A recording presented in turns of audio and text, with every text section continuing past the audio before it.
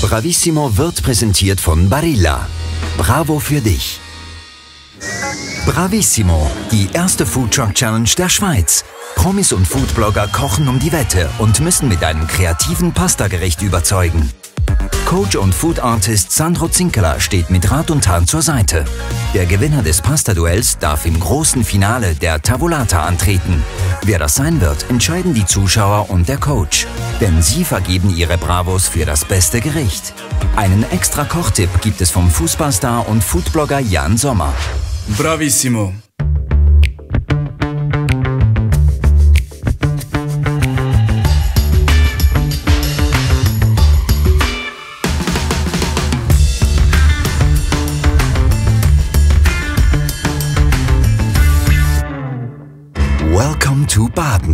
Nicht Saint-Tropez. DJ Antoine möchte beim heutigen Duell den Takt vorgeben. Aber hier spielt die Musik. Bloggerin Scarlett Steiner ist mit Pasta groß geworden. Coach Sandro Zinkeler ist gespannt.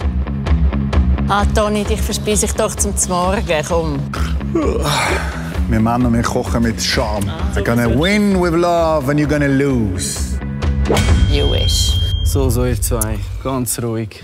Jedes Kind weiß, Hunde, die bellen, beißen nicht. Und ich hoffe, dass nach euren Worten Taten folgen. Das hier sind eure Herausforderungen. Auge in Auge. Oh, Toni. Du musst so richtig nicht verkehrt haben, du musst so haben. Gell?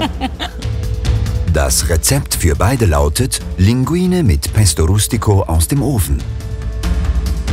Ich kenne das äh, so ein bisschen fix fertig schon, muss ich zugeben. Das Glas aufmachen und servieren.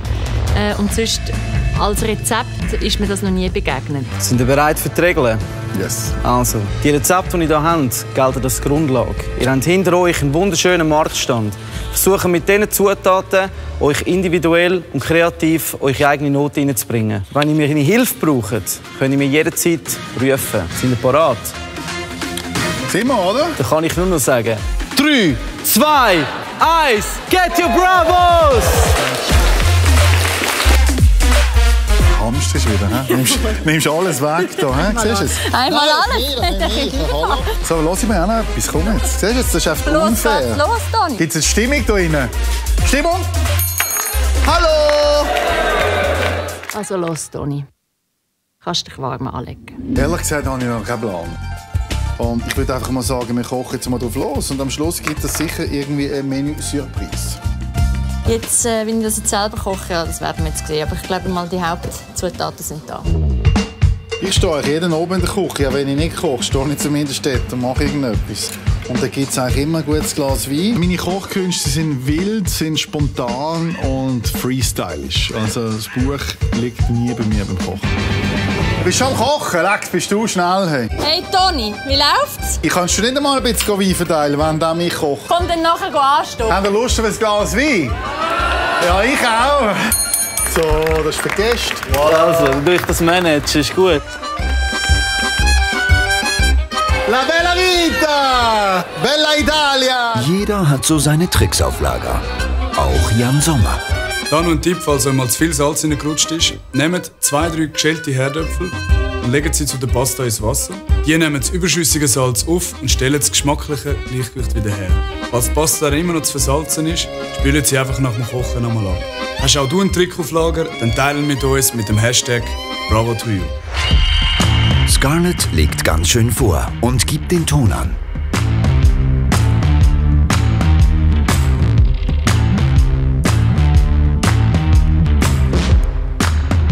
Noch 15 Minuten! Schlusssport.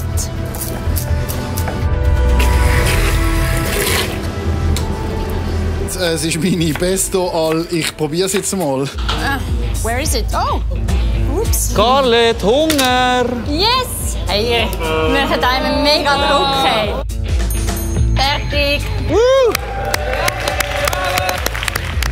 Schätzli, bist du immer noch auf dem Love-Trip?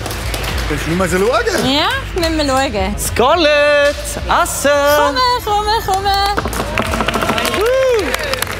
Wow, ey! Liebe Sandro, Danke vielmals. Pesto Rustico Interpretation von mir. Soll ich dir erzählen, was es ist? Ja, unbedingt. Ich höre zu. Also ich habe versucht, so die verschiedenen Texturen von der Oberschiene reinzubringen. Ich liebe so verbranntes Gemüse. Insbesondere bei der Oberschiene finde ich, kommt das sehr schön raus. Und gleichzeitig braucht es aber auch ein bisschen Saft, damit das Ganze sich mit der Pasta verbindet und darum die auch angerösteten Tomaten zusammen mit den frischen und dann einfach mit viel Kräutchen und Du, das klingt vollendet. Wunderbar. Bitte? So, ich mache jetzt das Italienisch nur mit der Gabel.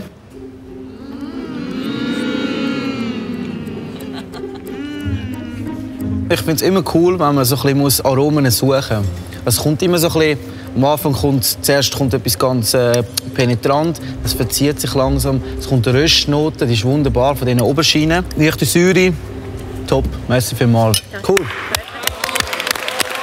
Wir haben schon gemerkt, so beim, beim Anrichten ist bei der Scarlett schon so in die Routine gekommen. Die Scarlett hat nicht jetzt für mich nicht so eine intensive eigene Note, die jetzt gerade so rausgestochen ist, sondern sie hat eigentlich wirklich ein Gericht, finde ich, sehr, sehr gut umgesetzt. Und man muss nicht immer suchen, was ist jetzt da anders, speziell.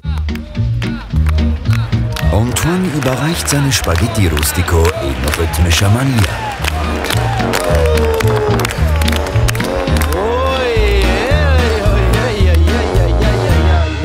Perfekt.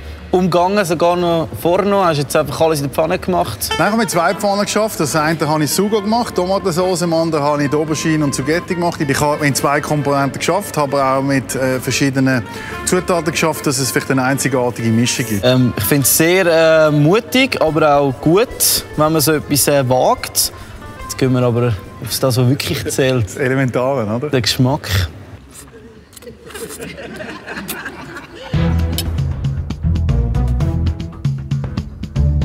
Also erstmal sehr schön al dente gekocht. Das ist schon mal sehr gut. Ähm, aber vielleicht ein bisschen zu wenig Salz im Wasser. Das Aroma finde ich fantastisch. Es hat so das leichte, ähm, speziell, es gibt so einen leichten orientalischen Touch, finde ich. Aber trotzdem mit der Zucchetti zusammen, mit den getrockneten Tomaten, ein, äh, ein gelungenes Gericht, würde ich sagen. Doch, du kannst also auch wirklich auch kochen, muss man sagen.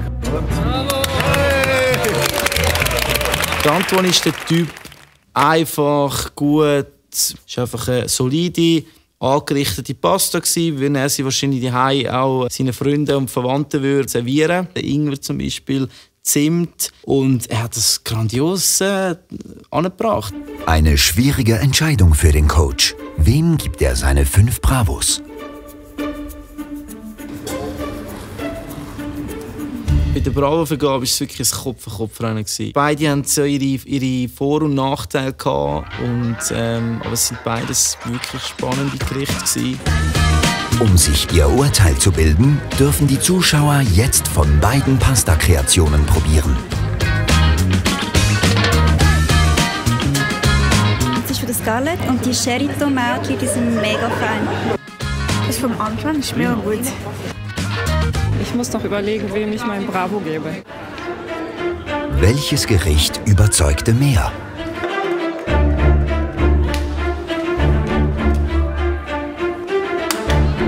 Gibt es mehr Bravos für Blau oder Rot? Scarlett, Antoine. Unsere Gäste haben entschieden, sie haben ihre Bravos verteilt. Und ich würde zuerst meine fünf Bravos vergeben. Bei mir ist es auch heute sehr knapp ausgefallen. Und zwar ähm, hat mich jemand sehr überrascht. Der Sieger für mich im Gesamtbild, im Gesamteindruck, hat einfach besser punktet. Und die fünf Bravos gehen da. Jetzt hast du mal keins, oder? Spannung steigt, die Spannung steigt. Blau.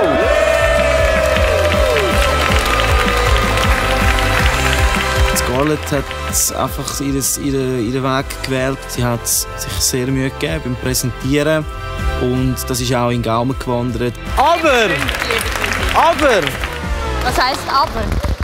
somit hat sie mit euch 15 Bravos.